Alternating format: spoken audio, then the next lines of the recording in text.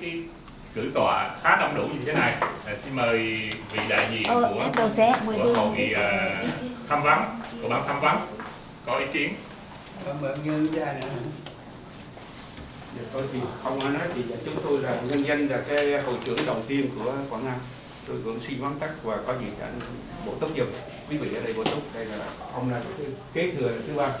Thưa quý vị là cái hội Quảng Nam Đà Nẵng của mình đó là cái quê hương của chúng mình quá lớn này lớn nhất của miền Trung. Nhưng mà cái khi mà chúng tôi làm thì có hội trưởng, ở đây cũng có hội trưởng, có hội trưởng về sau này. Chứ càng ngày càng đi xuống chứ, nó là không đi lên nó giữ được ở cái mức quân bình là mời ông nào làm hội trưởng nữa thì cũng không được. Mà hội trưởng chúng tôi thì đang lão rồi, bây giờ chúng tôi là 80 rồi. Tôi 80 ông Cúc 80 giờ chưa rồi. Ông là cũng bảy mươi mấy rồi. Thành ra đúng ra là lão lai mà tài tận rồi. Rồi lại thêm vào đó, nó là mình phải có cái thế hệ, cái kế thừa cái hậu duệ chứ chẳng lẽ mình mà chúng tôi làm á họ tưởng rằng chắc là tham quyền bố vị. Thành ra chúng tôi nhận trong cái văn cố vấn thôi. Do đó mà bây giờ xin lần đầu tiên mà chúng tôi kêu gọi chúng tôi kêu gọi rất nhiều lần mà ông nào cũng cứ từ chối.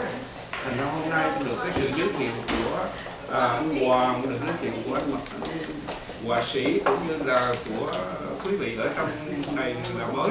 Thì xin để mà quý vị vì hai tiếng Quảng Nam Đà Nẵng xin tất cả quý vị hậu vệ đứng lên đây, để à, mà giúp tiếp tay và sẽ thành lập làm sao cho bằng được các hội đồng hương Quảng Nam Đà Nẵng để chúng ta cùng sánh vai với tất cả các hội đoàn ở đây. Là vì ở tại trong cái khu vực của chúng ta thậm chí đến nỗi cái cấp quận họ cũng làm. Cái cấp quận như quận Dầu Tiếng họ cũng làm. Từ một cái cấp mà như là cái đình của ở tại Biên Hòa họ cũng đứng làm và tổ chức một cái quận Ninh Hòa ngày xưa cũng làm tổ chức còn mình đây là một cái tỉnh đồ sộ mà. Không có được cái vai vế gì. Lúc đầu tiên thì cũng ngon lành như ai nhưng mà càng ngày thì mời ai ai cũng không nhận hết. Do đó mà chúng tôi chỉ không có được xuân thu nhị kỳ nữa. Chỉ xuân thu nhất kỳ thôi. Có nghĩa là làm để cúng ông bà nhớ tổ tiên của cái ngày. Tất niên. Đấy là đủ rồi thậm chí đến nỗi mà chúng tôi làm về vấn đề nữa là ngày hè làm về đố thơ đó đồ ông mà phương định Dạ. để ông để trong tủ sách của ông là không biết bao nhiêu lâu này ông cứ để nằm trong đó thôi chứ chưa có đố thơ được đến mùa hè nữa. Thành thưa quý vị đó là cái lý do mà chúng tôi yêu cầu rằng phải thành lập cho được cái hội đồng hương Quảng Nam Đà Nẵng một cái ban chấp hành. Mà trong đó là nòng cốt có lẽ rằng quý vị ở trong thiên trường mà chúng tôi năm ngoái ở trong cái chỗ mà của cái ngày tất niên chúng tôi cũng nói rằng năm nay sẽ có một cái sắc thái mới sẽ có một sinh thái mới. Đó là sự đóng góp của cái thành phần thứ hai là hậu duệ. Để mà nâng cao cái vấn đề của Quảng Nam Đà Nẵng lên ngang tầm với tất cả các hội khác ở trong vùng.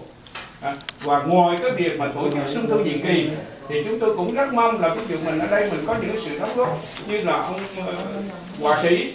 Ông cũng là một nhân tài của quê hương mình có thể là mình làm những cái exhibition của cái quê hương của mình hay là ví dụ như Trần Chính anh đã từng tổ chức những cái buổi vĩ đại nghĩa là cái gì mà vĩ đại thì phải để ông Trần Chính chứ không phải tròn Hả? Xin đừng đổi đừng đổi họ. Đừng đổi họ chứ. Lê Văn Chính xin lỗi tôi Lê Văn Chính tôi đã gặp ông Chính nhiều lần ở trong những cái vấn đề mà của này nọ thì anh Chính anh làm cái gì mà đồ sộ ví dụ như anh có thể tôi nghe nói hình như